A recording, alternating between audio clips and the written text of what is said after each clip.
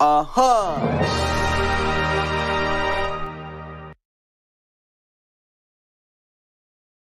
Hi everyone.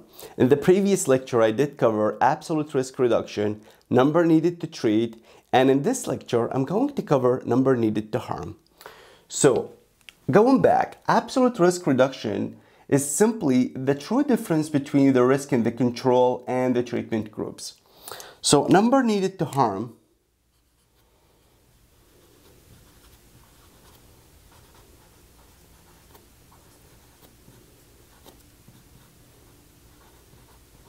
is the number of patients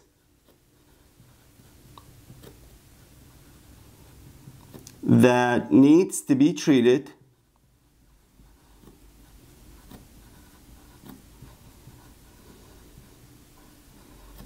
for a duration of time. And this could be six months, one year, two years, five years, 10 years, depending on the study, treated for a duration of time in order for one patient to be harmed. So now what does to be harmed mean? Well, usually when the new medication come to the market or they're in the process of research, this medication can cause side effect and that's how the patient can be harmed through these side effects. So to better understand what number needed to harm is, let's take this example over here. So this example says a study reported 2% risk of cough in lisinopril group. So we have a new medication. Lisinopril exists. It's an exist medication. It's a wonderful medication, but just for the sake of an example and understanding concept, I picked lisinopril because ACE inhibitor are known to cause cough. So there are 2% risk of cough in lisinopril group and 4% risk in control group. What is number needed to harm? So first of all, number needed to harm have an equation. Number needed to harm is 1 over absolute risk reduction.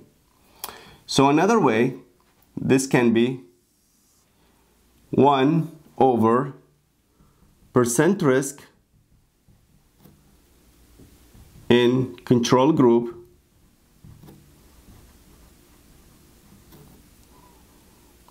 minus percent risk in the treatment group.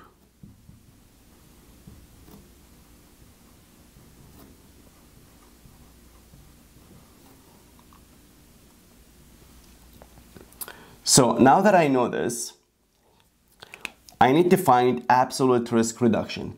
So I do have the risk in each group. So absolute risk reduction is basically the difference between the two risks in the group. So this is going to be the control group, which is 4%, minus the 2%. So 4 minus 2 is basically 2%. Now, do I jump in right away and, and plug in the 2% over here so we can get number needed to harm? No. And the reason why, it's because whenever I have number needed to treat or number needed to harm, this value must be in decimal places. Because if I place 2% over here, 1 over 2%, that's not going to give me the correct answer. So I do need to change this into decimal places. So basically 2% is, so this is same as 2 over 100, which is same as 0 0.02. So now I can use this and plug it over here. So number needed to harm is 1 over 0.02. And dividing 1 over 0.02, it's going to be 50. And one thing to keep in mind, now I have a whole number over here. What if I had let's take an example and say, instead of 50, this is just an example, instead of 50 over here, I had, let's say 50.6, 0.7, 50.7. What are you gonna do? Are you going to round up, round up or round down? So this keep this in your mind. Whenever we're doing number needed to harm, we always round down. So round down. This is the opposite of number needed to treat. With number needed to treat, we always round up. So if I had a number needed to treat 50.1, it's gonna be 51, even though it's not 0.5. The rule of 0.5 doesn't apply with number needed to treat or number needed to harm. So any decimal place after the whole number 50, it's going to round down, regardless if it's closer to 51 or it's far from 51. So in this case, it's 50, so we don't need to know to do anything in regard that. So what does this mean, 50? Basically, what this means, going back to the definition of number needed to harm, is 50 patients need to be treated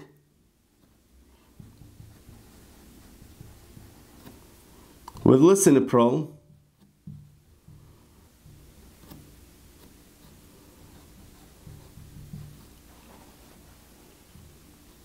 in order for one patient